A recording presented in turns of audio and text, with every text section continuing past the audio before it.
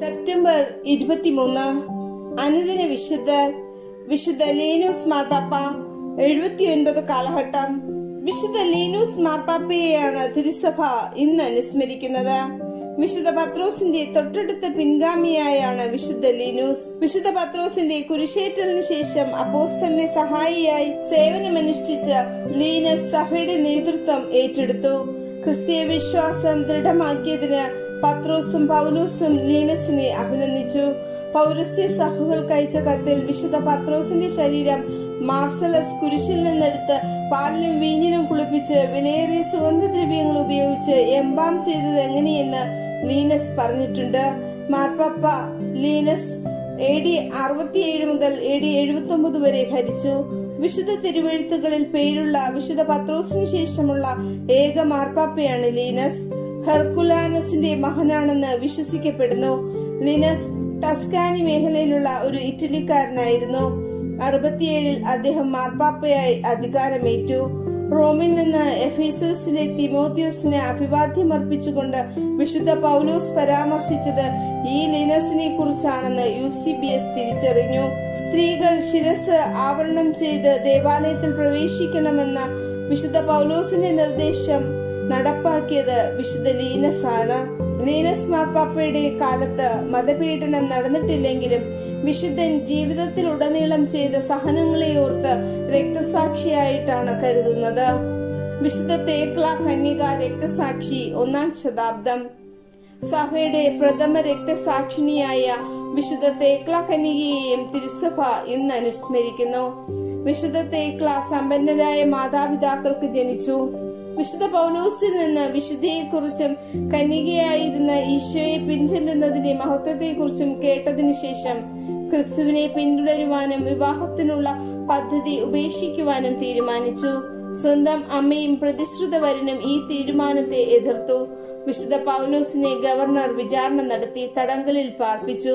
ഇതറിഞ്ഞ തേക്ല കാവൽക്കാർക്ക് സ്വർണാഭരണങ്ങൾ കൈക്കൂലി കൊടുത്ത് വിശുദ്ധന്റെ വജസ്സുകൾ കേൾക്കുവാൻ ചെന്നു. വിചാരണയിൽ വിശുദ്ധ പൗലോസ് നഗരത്തിൽ നിന്ന് പുറത്താക്കപ്പെട്ടു. വിശുദ്ധയുടെ അമ്മ ഗവർണറോട് തന്റെ മകളെ ചുട്ടുകൊല്ലുവാൻ വിധിക്കുവാൻ ആവശ്യപ്പെട്ടു.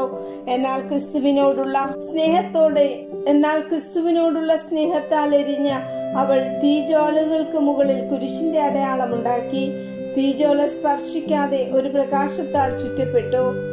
മഴയും ആലിപ്പഴവും തീ അണച്ചു. ഇടിമിന്നൽ തേക്ലായെ കൊല്ലാൻ വിധിച്ചവരെ ഭയപ്പെടുത്തി. വന്യമൃഗങ്ങൾക്കും മകളെ ഇട്ടുകൊടുത്തു. അവയും അവളെ തൊട്ടില്ല.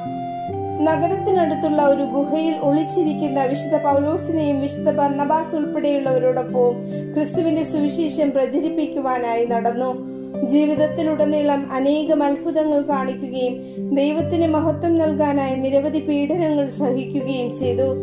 വിശുദ്ധ പൗലോസിന്റെ അനുഗ്രഹത്തോടെ ഈസ്റ്ററിയൻ സെലൂഷ്യയിലെ വിജനമായ ഒരു പ്രദേശത്തേക്ക് വിരമിച്ച് അവിടെ നിരവധി കുഞ്ഞുങ്ങളെ സുഖപ്പെടുത്തുകയും സുവിശേഷം പ്രസംഗിക്കുകയും ചെയ്തു.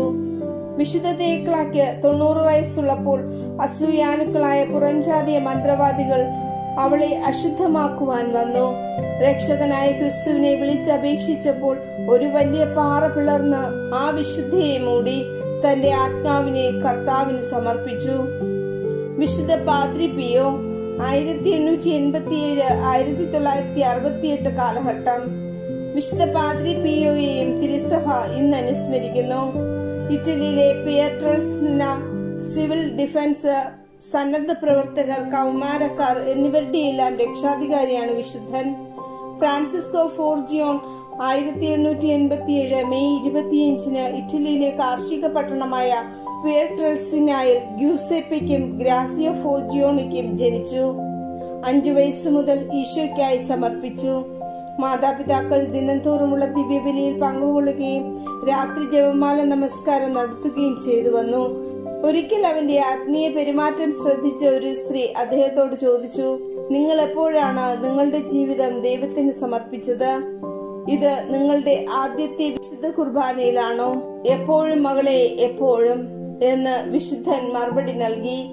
പതിനഞ്ചാം വയസ്സിൽ ഫ്രാൻസിസ്കോ കപ്പൂച്ചിൻസിൽ ചേർന്ന് പിയോ എന്ന പേര് സ്വീകരിച്ചു. ആയിരത്തി തൊള്ളായിരത്തി പത്തിൽ നിയുക്തനായ അദ്ദേഹത്തെ ക്ഷയരോഗം കണ്ടെത്തിയതിനാൽ ഡിസ്ചാർജ് ചെയ്തു. ആയിരത്തി തൊള്ളായിരത്തി പതിനേഴിൽ സാൽജിയോവനി റോട്ടോണ്ടോയിലെ ഫ്രയറിയിലേക്ക് നിയമിച്ചു. ആയിരത്തി തൊള്ളായിരത്തി പതിനെട്ട് സെപ്റ്റംബർ ഇരുപതിന് കുർബാനയ്ക്ക് ശേഷം അദ്ദേഹം നന്ദി പറയുമ്പോൾ പാദ്രി പിയോയ്ക്ക് യേശുവിന്റെ ഒരു ദർശനമുണ്ടായി. ദർശനം അവസാനിച്ചപ്പോൾ കർത്താവിന്റെ പഞ്ചക്ഷതങ്ങൾ പിയോയ്ക്ക് നൽകപ്പെട്ടു. അതിനുശേഷം ജീവിതം കൂടുതൽ സങ്കീർണമായി. മെഡിക്കൽ ഡോക്ടർമാർ പള്ളി അധികാരികൾ മറ്റനേകർ പാദ്രി പിയോയെ കാണുവാൻ വന്നു. ആയിരത്തി തൊള്ളായിരത്തി ഇരുപത്തിനാലിലും ആയിരത്തി തൊള്ളായിരത്തി മുപ്പത്തി ഒന്നിലും പഞ്ചക്ഷതങ്ങളെ കുറിച്ച് അന്വേഷണം വന്നു. പരസ്യമായി കുർബാന ആഘോഷിക്കുവാനോ കുംഭസാരം കേൾക്കുവാനോ പാദ്രി പിയോയ്ക്ക് അനുവാദമില്ലായിരുന്നു. എന്നാൽ ഈ തീരുമാനങ്ങളെ കുറിച്ച് അദ്ദേഹം പരാതിപ്പെട്ടില്ല. യേശുവിന്റെ വേദനകളെ കുറിച്ച് ഒരു ലഘുലേഖ എഴുതിയിട്ടുണ്ട്.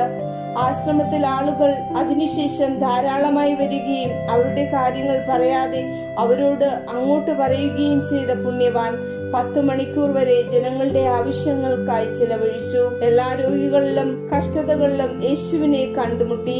അദ്ദേഹത്തിന്റെ നിർബന്ധപ്രകാരം അടുത്തുള്ള ഗർഗാനോ പർവതത്തിൽ ഒരു മികച്ച ഒരു ആശുപത്രി പണിതു. ജീവിത കാലഘട്ടത്തിൽ തന്നെ വിശുദ്ധനെന്നറിയപ്പെടുകയും എല്ലാ വിഭാഗത്തിലുമുള്ള ആളുകൾ അനുഗ്രഹത്തിനായും മാർഗനിർദ്ദേശത്തിനായും പുണ്യവാനെ സമീപിക്കുമായിരുന്നു. പാദ്രി പിയോയെ പരിശോധിച്ച ഡോക്ടർമാർക്ക് മുറിവുകൾക്ക് സ്വാഭാവിക കാരണം കണ്ടെത്തുവാൻ കഴിഞ്ഞില്ല. ആയിരത്തി തൊള്ളായിരത്തി അറുപത്തിയെട്ടിൽ അദ്ദേഹത്തിന്റെ മരണത്തോടെ മുറിവുകൾ അപ്രത്യക്ഷമായി. സ്വാഭാവിക ചർമ്മം രൂപപ്പെട്ടു. അൻപത് വർഷങ്ങൾക്ക് മുൻപ് പുണ്യവാൻ ഈ കാര്യം പ്രവചിച്ചിരുന്നു. മരണത്തിൽ തന്റെ മുറിവുകൾ ഉണങ്ങുമെന്ന ഏവരുടെയും ഹൃദയ വിചാരം ഗ്രഹിക്കുവാൻ പുണ്യവാൻ കഴിഞ്ഞിരുന്നു. ആയിരത്തി തൊള്ളായിരത്തി അറുപത്തിയെട്ട് സെപ്റ്റംബർ ഇരുപത്തിമൂന്നിന് തന്റെ എൺപത്തിയൊന്നാം വയസ്സിൽ യേശു മേരി എന്ന വാക്കുകൾ ഉച്ചരിച്ചുകൊണ്ട് അദ്ദേഹം മരണത്തെ പുൽകി. ശവസംസ്കാര ശുശ്രൂഷയിൽ ഒരു ലക്ഷത്തിലധികം പേർ പങ്കെടുത്തു. പാദ്രി പിയോ സ്ഥാപിച്ച ആശുപത്രിയിൽ ജോലി ചെയ്തിരുന്ന ഒരു ഡോക്ടറിന്റെ മകൻ ഏഴു വയസ്സുള്ള മാറ്റിയോ പിയോ കൊളേലിയുടെ രോഗശാന്തി വിശദീകരണത്തിനുള്ള അത്ഭുതമായി കണക്കാക്കി. രണ്ടായിരം ജൂൺ ഇരുപതിന് മാറ്റിയോ മെനിഞ്ചൈറ്റിസ് ബാധിച്ച് തീവ്ര പരിചരണ വിഭാഗത്തിൽ ശരീരത്തിലെ ചലനങ്ങളെല്ലാം അവസാനിച്ചു കിടക്കുമ്പോൾ അമ്മയും ബന്ധുക്കളും വൈദികരും സമീപത്തുള്ള പാദ്രി പിയോയുടെ പള്ളിയിൽ പ്രാർത്ഥിച്ചുകൊണ്ടിരുന്നു. കുട്ടിയുടെ നില മെച്ചപ്പെട്ടു.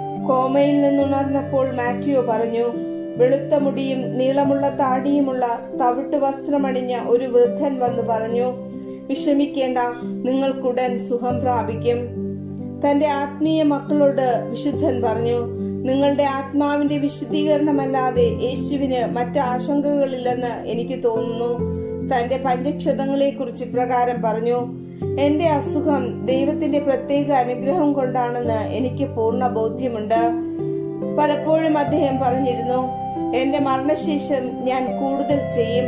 എന്റെ മരണശേഷം എന്റെ യഥാർത്ഥ ദൗത്യം ആരംഭിക്കും.